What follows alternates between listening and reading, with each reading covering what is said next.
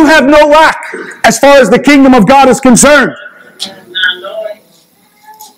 If the word is richly rooted in your heart and it becomes real to you, then you can access, not only access the kingdom of God, but receive all the blessings that God's kingdom says you can have.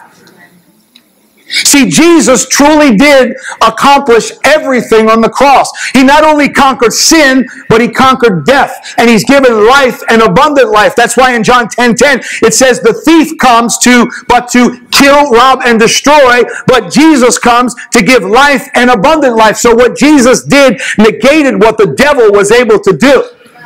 The problem is not Jesus, it's us. The problem is belief. The problem is ruach. The problem is emunah. It's substance. It's understanding who you are in Christ and what God's given you. And the only way you can do that is when the seed of the word that was planted by the Holy Spirit grows and blossoms by you going and getting along with God and dwelling in that secret place.